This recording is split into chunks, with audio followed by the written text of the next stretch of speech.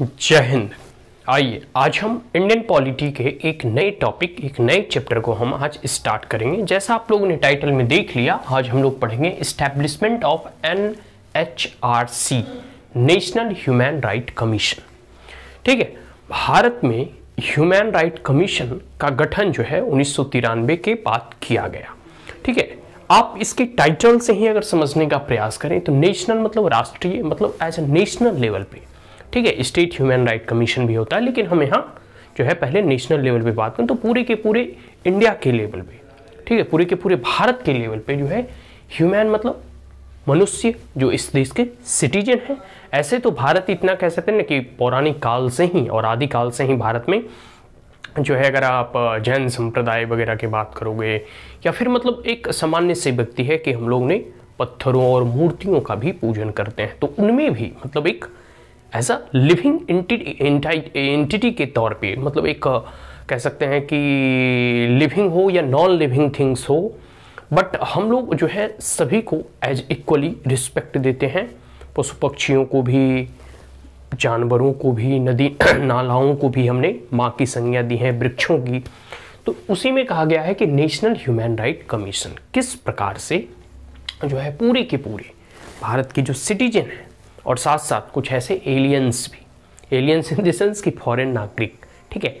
उनके भी मानवता की और पूरे के पूरे कह सकते हैं, एक ह्यूमैन की अधिकारों की राइट मतलब अधिकार की रक्षा करने वाला एक आयोग, ठीक है? तो आयोग जो है ये पूरे के पूरे कह सकते हैं कि नेशनल लेवल पे कार्य करती है। इसी के साथ साथ स्टेट लेवल पे भी स्टेट ह्यूमन राइट कमीशन होता है, जो कि उसका जुरिडिक्शंस उसके स्टेट के अंतर्गत ही होता है। स्टैट क्लियर अब इसका इस्टेब्लिशमेंट कब हुआ?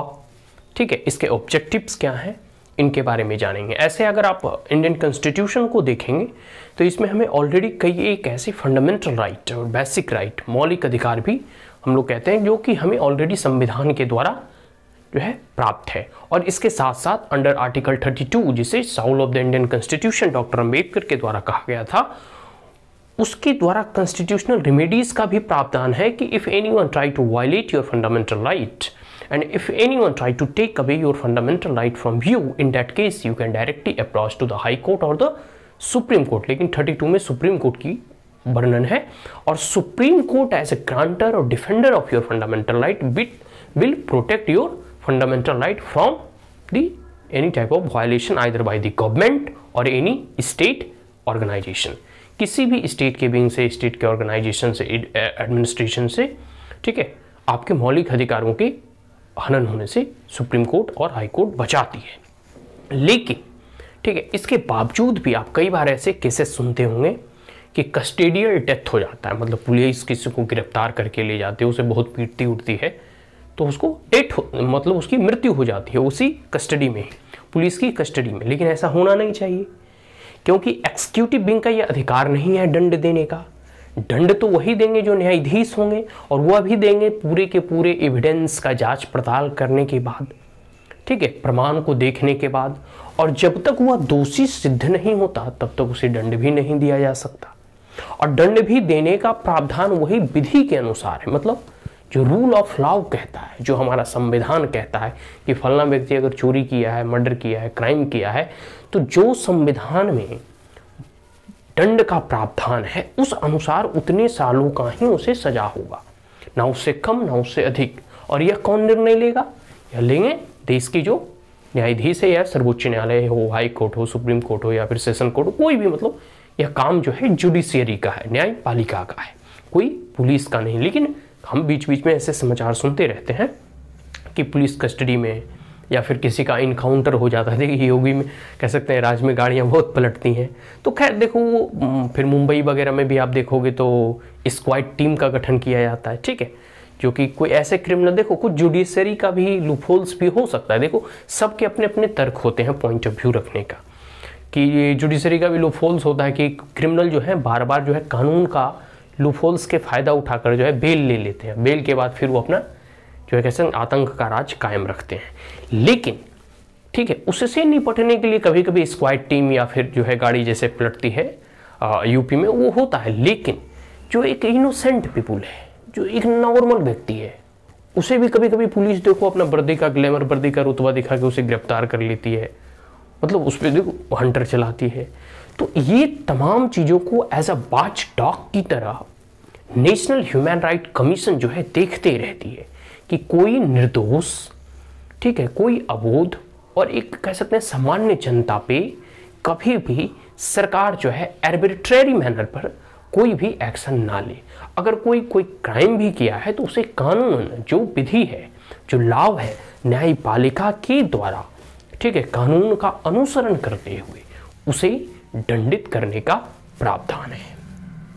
इज़ डैट क्लियर तो अब हम लोग इनके थोड़ा, जो हमने यहाँ एक नोट लिखा है, इसके इसके माध्यम से जानेंगे। Establishment of N H R C national human rights commission को क्यों इस्टेब्लिश किया गया था?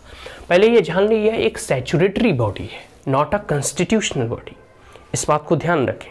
यह एक सेचुरेटरी बॉडी कई बार जो है यूपीएससी के प्रारंभिक परीक्षा में कुछ स्टेटमेंट दिए रहते हैं तो ये कंफ्यूज करने के लिए कभी लिख दिया जाता है it is a statutory body और किसी किसी स्टेटमेंट में लिख देता है it is a constitutional body अब उसमें बच्चे कंफ्यूज होते हैं तो ये सबसे बड़ी जो है जान लेना ज़रूरी है it is not a constitutional body एक संवैधानिक संस्था नहीं है it is a statutory body ठीक है?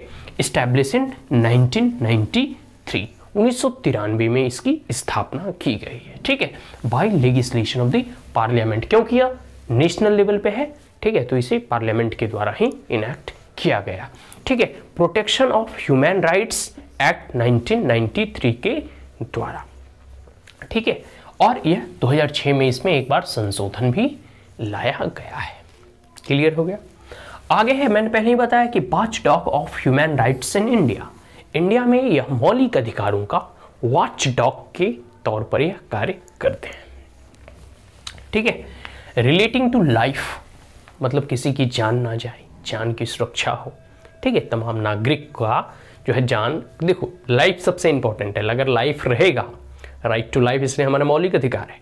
अगर लाइफ है, तभी अन्य अधिकारों की आप अपेक्षा कर सकते हैं और बात कर सकते हैं। तो कहने का मतलब है कि सरकार किसी के भी लाइफ का मतलब किसी को भी ऐसे ही नहीं फांसी पे चढ़ा देगी, नहीं।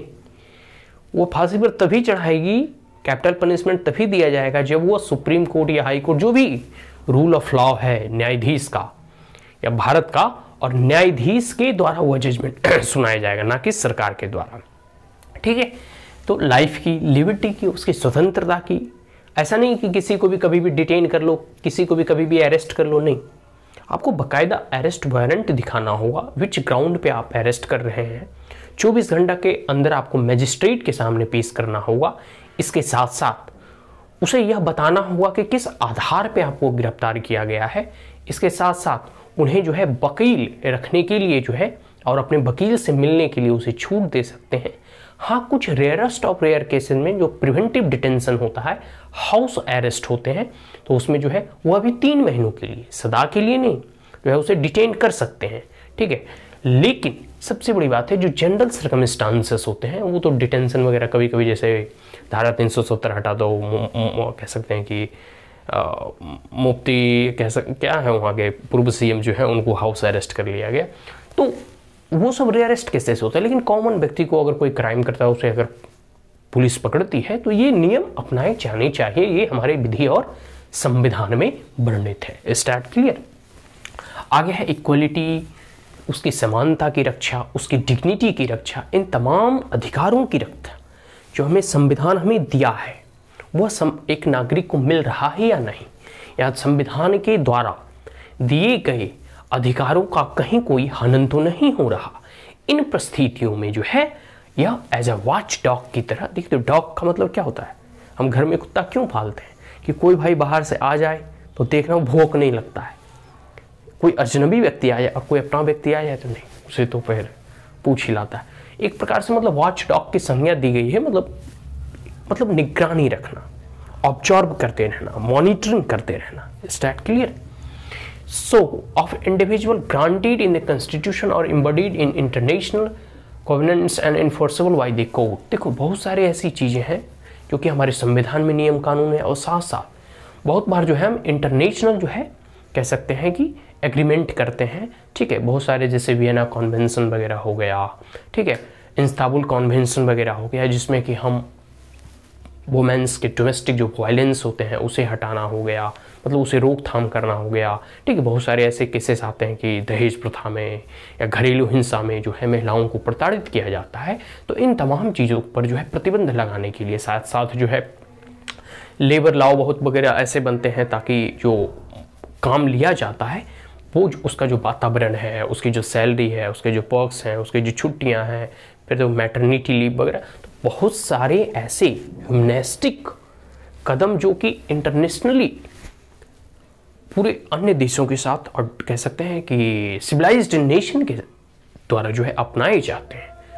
उन तमाम नियमों को भी कह सकते हैं या प्रोपोगेट करने का, प्रचार प्रसार करने का कार्य करती है और कहती है कि देखिए, ये ये देशों में इन इन चीज़ों से संबंधित इतने अच्छे कानून हैं। भारत में भी ऐसे कानून होने चाहिए।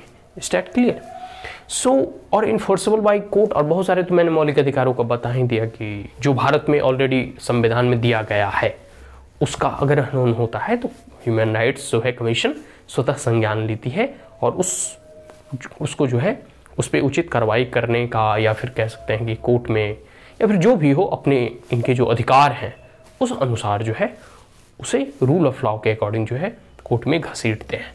इनके कुछ ऑब्जेक्टिव्स के बारे में जान लेते हैं कि आखिर नेशनल ह्यूमन राइट्स कमीशन के ऑब्जेक्टिव्स क्या हैं, उद्देश्य क्या हैं? इसको गठन क्यों किया गया? सबसे पहला स्ट्रेंथन इंस्टीट्यूशनल अरेंजमेंट देखो, जब तक कोई इंस्टीट्यूशन को बनाया नहीं जाएगा, जैसे अब रूल ऑफ़ लॉ या लॉ एंड ऑर्डर को मेंटेन करना है तो इसके लिए हमें पुलिस और फोर्स की आवश्यकता होती है बॉर्डर की सिक्योरिटी करना है तो बॉर्डर्स में आर्मी वगैरह या जवान वगैरह की ज़रूरत होती है हमें किसी को न्याय देना है तो उसमें हमें न्यायाधीश की ज़रूरत होती है, ठीक है? हमें अगर फ़सल उपजाना है तो किसानों की आवश्यकता होती है, ठीक है? तो वही कहा जा रहा है कि आगे, अगर हमें जो है लोगों के ह्यूमैन के अधिकारों का, उनके ह्यूमैन राइट्स के, मानव अधिकारों का जो है, कह सकते हैं प्रोटेक्शन करना है, उसे प्रोटेक्ट करना है तो वैसे इंस्टीट्यूशन डेवलप्ड होने चाहिए जो मानव अधिकारों की बात करे और साथ साथ मानव अधिकारों की रक्षा भी करे। तो आगे है स्ट्रेंथन इंस्टीट्यूशनल अरेंजमेंट और जो इंस्टीट्यूशन है, कोई भी इंस्टीट्यूशन हो, पुलिस के इंस्टीट्यूशन हो आर्मी की हो या फिर जुडिशरी की हो, कोई भी एक सामान्य सी ऑर्गेनाइजेशन हो, कोई फैक्ट्री हो, कोई इंडस्ट्री हो, कोई भी इंस्टीट्यूशन कोई भी संस्था हो उसका जो कह सकते हैं एक प्रकार से कह सकते हैं कि इंस्टीट्यूशनल जो अरेंजमेंट होता है, ठीक है, उसकी जो बनावट होती है स्ट्रक्चर होती है, उसे इस प्रकार से बनाया जाना चाहिए ताकि मानव के अधिकारों का हनन ना हो। And through which the human rights issues could be addressed and more focused manner और अगर कभी कभी ऐसी स्थिति उत्पन्न हो जाती है कि मानव अधिकारों का हनन हो रहा है, उस परिस्थिति में जो है वह इंस्टीट्यूशन को इस प्रकार से फ्रेम करना चाहती है, इस मैनेज में उसे अरेंज करना चाहती है ताकि मानव के, कह सकते हैं कि अधिकारों के उल्लंघन को और उस शिकायतों का निपटारा और उसे एड्रेस किया जा सके। दूसरा है look into the allegation of excess and independently of the government in a manner that would underline the government its commitment to protect human right देखो सरकार का हम लोग या पूरे के पूरे स्टेट अगर आप पॉलिटिकल थ्योरी की बात करोगे तो स्टेट का इमर्ज कह सकते स्टेट इमर्ज कैसे होता है? उस देश, उस टेरिटरी में रह रहे लोगों के द्वारा ही। तो और स्टेट का फॉर्मेशन लोग क्यों करते हैं? ताकि जो है, स्टेट उन्हें सिक्योरिटी प्रोवाइड करे, ठीक है? और साथ साथ पूरे एक कम्युनिटी लेवल पे, एक सिविल सोसाइटी के लेवल पे हम लोग बहुत सारे ऑर्गेनाइजेशन को फॉर्म करते हैं। बट स्टेट अपने आप में एक बड़ा ऑर्गेनाइजेशन है, जिसका सबसे अधिक महत्व है, क्योंकि हम उसे टिथ प्रोवाइड कराते हैं, हम उसे कुछ पनिशमेंट करने का भी अधिकार देते हैं। लेकिन सबसे बड़ी चीज़ है कि क्या हो, अगर स्टेट जो मानव के द्वारा, वहाँ रह रहे लोगों के द्वारा उसका गठन किया गया हो, अगर स्टेट फिर इतनी शक्तिशाली हो जाती है कि वह फिर जो उसे गठन किया है, उस पर ही वो अपना डिक्टेटरशिप जमाने लगती है। तो इस परिस्थिति से बचने के लिए मानवाधिकार जो है आयोग का गठन किया जाता है ताकि देखता है। यह जो आयोग है, यह बार बार देखती रहती है कि भाई स्टेट के द्वारा कहीं तो मानवाधिकारों का हनन तो नहीं हो रहा। और साथ साथ जो स्टेट ने प्रॉमिस किया है कि हम आपको यह मौलिक अधिकार देते हैं, हम आपको यह फंडामेंटल राइट्स देते हैं या कोई भी लीगल राइट हो, कोई भी, ठीक है, अधिकार सरकार के द्वारा अगर दिया जाता है तो क्या सरकार उन अधिकारों का जो है पालन कर रही है या नहीं? क्या सरकार जो नियम बनाए हैं, उसे इन्फोर्स कराने में सक्सेसफुल हो रही है या नहीं? तो वही कहा गया है कि कोई भी अगर सरकार के ऊपर ऐसा एलिगेशन लगता है कि आप एक्सेस यूज़ ऑफ़ फोर्स कर रहे हैं, देखते हो आपसा एक्ट के बारे में नॉर्थ ईस्ट में बहुत सारे इससे संबंधित कंट्रोवर्सी है अराइज होता है। फिर कई बार देखोगे आप लोग तो मैंने कस्टडियल डेथ की एग्जांपल दिया है। कई बार जो है कह सकते हैं ना कि पुलिस की या फिर एक प्रकार से गवर्नमेंट के जो कह सकते हैं कि आर्मी पुलिस फोर्स इस पर कई बार जो है ह्यूमन राइट्स वायलेशन के एलिगेशन लोग लगाते रहते हैं। क्योंकि ऐसा उनके बारे में कहा जाता है कि ये लोग जो है आ, आम लोगों पे जो है एक प्रकार से कह सकते हैं कि उत्पीड़न करते हैं, लेकिन यह कभी कभी वास्तविकता भी नहीं होती। क्योंकि आप देखोगे, कई बार जो होगा कि देश के विदेशी ऐसी कह सकते हैं ना कि एक एजेंडा और प्रोपेगेंडा फैलाना चाहते हैं और देश में विद्रोह को जन्म देना चाहते हैं। जो नक्सलाइट मूवमेंट वगैरह आप देखोगे, ये पूरे के पूरे वही चीज़ है जो कि विदेशी फंड के द्वारा और विदेशी इन्फ्लुएंस लोग होते हैं जो आर्मी के बारे में ऐसा जो है प्रोपोगेंडा फैलाते हैं, ठीक है? आर्मी वगैरह या पुलिस वगैरह का उद्देश्य नहीं होता है लोगों की रक्षा, लोगों की सुरक्षा करना। हाँ कभी कभी जो है ऐसी गलतियाँ हो सकती है सभी से, ठीक है? हम लोग भी एक कह सकते हैं पुलिस वाले भी एक मानव ही होते हैं, इसमें कोई बड़ी चीज़ नहीं है। बट जनरली ऐसा आर्मी के जवान या फिर कह सकते हैं फौज वगैरह ऐसा नहीं करती, क्योंकि वो लोग बहुत ही रिस्पॉन्सिबल लोग होते हैं। और देखते हो, कभी भी आपदा वगैरह आता है तो वो लोग हम लोगों की सुरक्षा प्रदान करते हैं। लेकिन होता है, हर देश में देखो इंटरनली डिस्टेबलाइज करने के लिए ऐसा प्रोपोगेंडा चलाए जाते हैं, कोई बड़ी चीज़ नहीं है। लेकिन सबसे बड़ी बात है कि ऐसा इसमें कहा जा रहा है कि किसी भी मैनर में स्टेट कभी भी, क्योंकि स्टेट अपने आप में बहुत पावरफुल है, ठीक है? इसलिए बहुत सारे मौलिक अधिकारों का जो है हमें प्रकार से एक बंडल प्रदान किया गया, कह सकते हैं कि संविधान के द्वारा, ठीक है? कि कभी भी स्टेट एर्बिट्ररी मैनर में किसी को गिरफ़्तार ना करे, किसी को पनिश ना करे, ठीक है? तो यही चीज़ें हैं। और तीसरा है complement and strengthen the effort that had been already been made in this direction और वैसे प्रयास इफॉर्ट्स ठीक है? वैसे प्रयास जो ऑलरेडी इस दिशा में, इस डायरेक्शन में लिए जा चुके हैं। और वह डायरेक्शन वह कदम क्या? जो मौलिक अधिकारों का जो है, एक प्रकार से और लोगों का जो मानव अधिकार है, ठीक है, उसकी रक्षा के प्रयास में, उसकी सुरक्षा के प्रयास में जो कदम उठाए गए हैं, उस कदम को और स्ट्रेंथन करने का प्रयास करती है यह मानव अधिकार, जो कैसे राष्ट्रीय मानवाधिकार, ठीक है, आयोग, ठीक है।